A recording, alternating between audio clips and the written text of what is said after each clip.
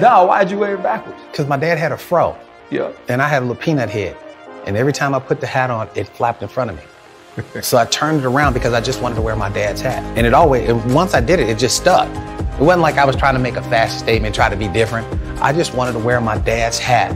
When he went on the field, he always had two hats.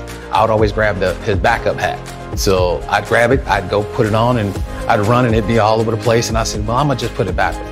And I've always had it that way. Like even now, the first thing I do, I put a hat on backwards, and I look at it and go, okay, it's okay.